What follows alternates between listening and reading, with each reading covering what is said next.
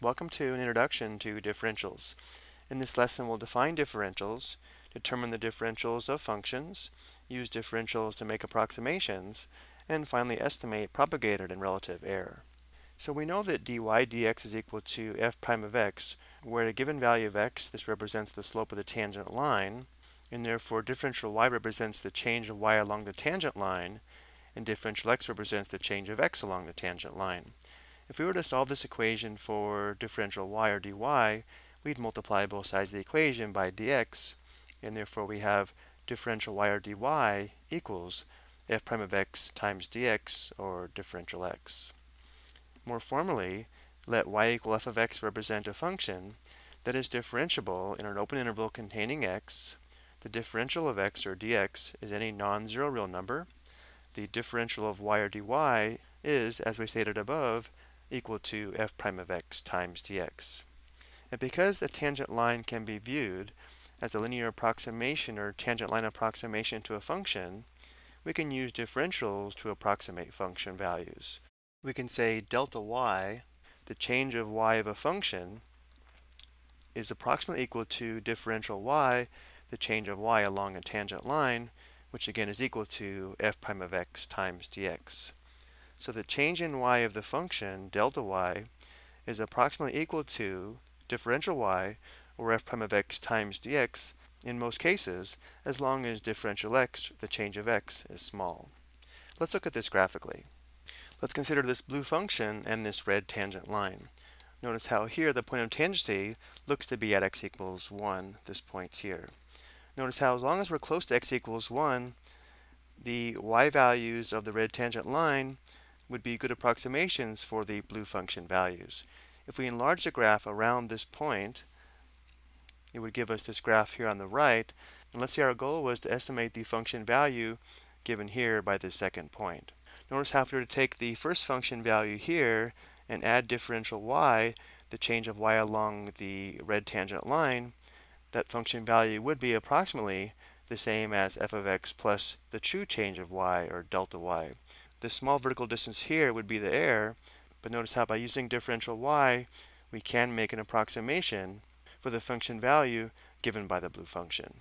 So we can say that differential y is approximately delta y, which means the change of y along the tangent line, differential y, is approximately the change of y of the original function, which is delta y and dx equals delta x because the change in x of the tangent line differential x is the same as the change of x of the function given by delta x. So this delta x here is the change of x for the function, but it's also the change of x along the tangent line, so delta x equals differential x.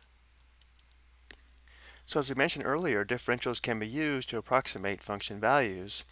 To make a function approximation, we can use this formula here, where f of the quantity x plus delta x would be approximately equal to f of x plus differential y, where x would be the point of tangency, so we'd evaluate the function of the point of tangency and then add differential y, where again differential y is equal to f prime of x times dx. So let's use differentials to estimate the square root of 16.4. The first thing we would do is to find the function we're going to use, and because we're trying to find a square root, we let our function f of x be equal to the square root of x, which equals x to the 1 half. Next, we're looking for a convenient value of x that's close to 16.4, and because 16 is a perfect square, we would let x equal 16, but because the true input is 16.4, differential x, which equals delta x, would be equal to positive 0.4. And therefore, f of the quantity 16 plus 0.4, which represents the square root of 16.4, would be approximately equal to f of 16 plus differential y, where differential y would be equal to f prime of 16 times delta x. So notice how in order to make this approximation, we need to determine f of 16 as well as differential y, which is f prime of 16 times dx. So let's go ahead and find differential y. Remember, differential y is equal to f prime of x times dx. So the derivative of x to the 1 half would be 1 half x raised to the power of negative 1 half. And then we have times dx, which would be equal to 1 over 2 square root x times dx. So now we need to find f16, which would be equal to the square root of 16 or 4. And then we also need to determine differential y when x equals 16. So we'd have f prime of 16 times dx, which equals 1 over 2 square root 16 times dx, where dx is 0.4 or 4 tenths. Well, 4 tenths simplifies to 2 fifths. So without a calculator, this simplifies again. We have a common factor of 2. So this simplifies to 1 over square root of 16 is 4, so we have 1 20th. So we have f of 16.4 would be approximately equal to f of 16, which we know is 4, plus differential y, which is 1 20th. So we have 4 and 1 20th, which would be 4.05. 1 20th is equal to 5 hundredths. Now let's go ahead and compare our approximation to the value of square root 16.4 on the calculator. So the actual value of square root 16.4 from the calculator is 4.04969, which notice how is very close to our approximation of 4.05 using differentials.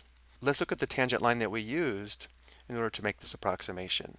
This red tangent line is a tangent line to f of x equals square root x at x equals 16, this point here. And notice how this line is a very good approximation for the function values near x equals 16, and that's why our approximation was so good. We can't even compare differential y to delta y at x equals 16.4 because the tangent line is such a good approximation around x equals 16. Now let's look at two examples where we're given a function and asked to determine differential y.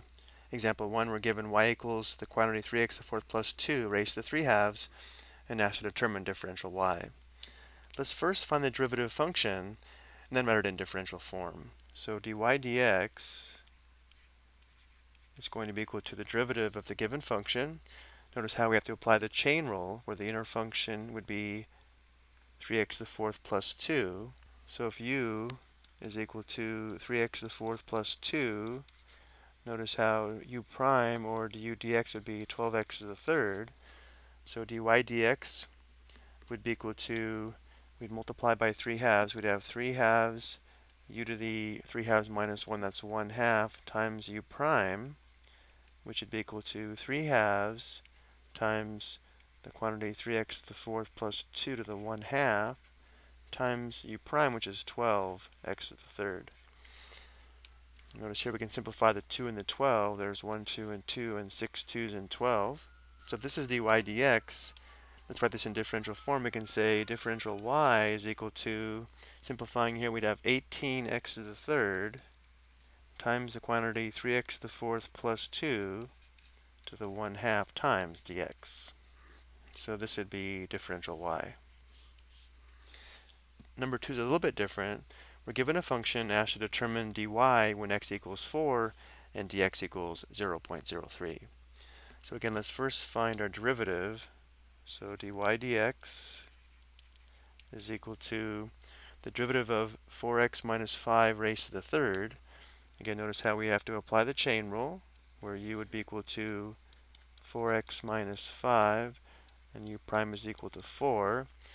So we can think of this as u to the third, and therefore the derivative would be 3 times u to the second times u prime, which would be 3 times the quantity 4x minus 5 to the second times u prime, which is 4, which means differential y is equal to, simplifying, we'd have 12 times the quantity 4x minus 5 to the second times dx.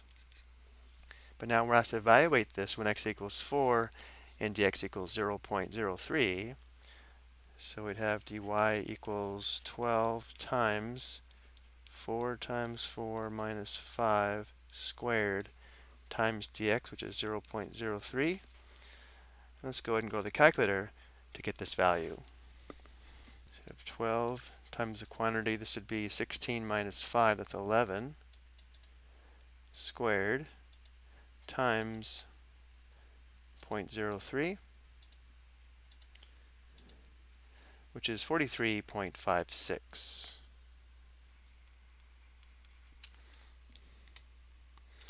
Now remember this value tells us the change of y along the tangent line from x equals 4 to x equals 4.03. Now let's talk about propagated error.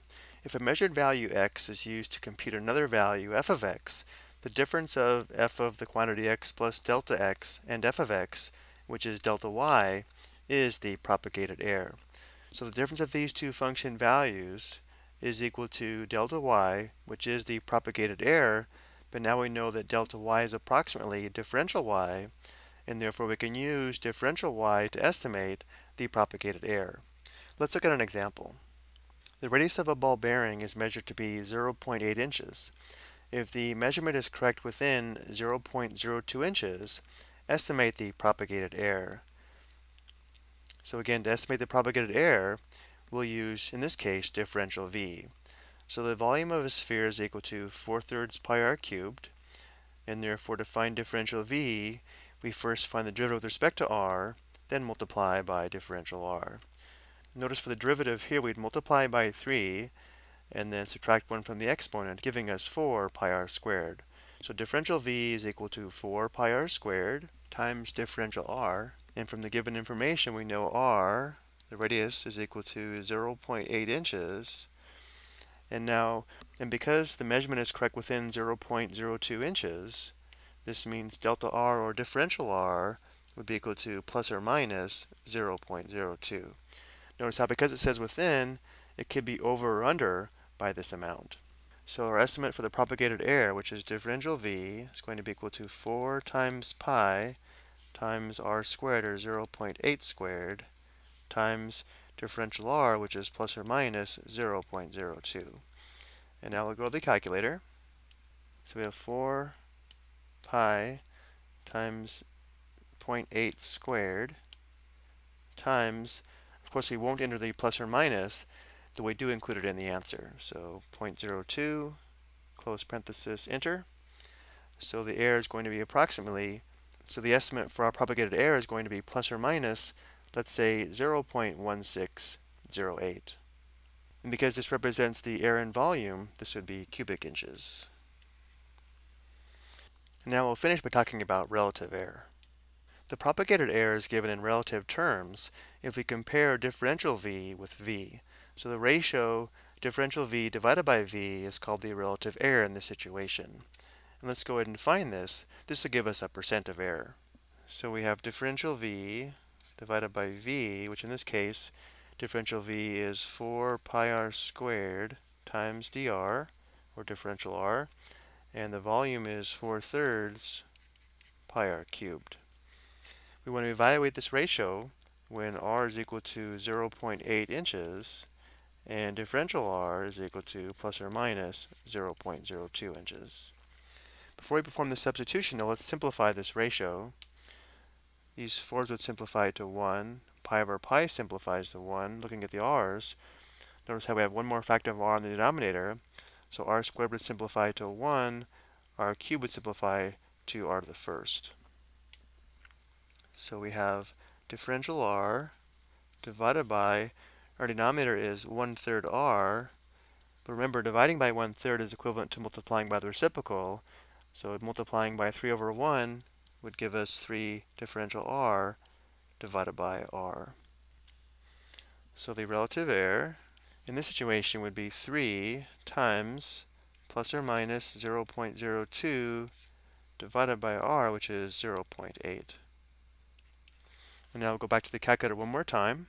Our numerator would be 3 times 0.02 and then divided by 0.8 which gives us 0.075, so plus or minus 0.075, converting to a percent would be plus or minus 7.5%.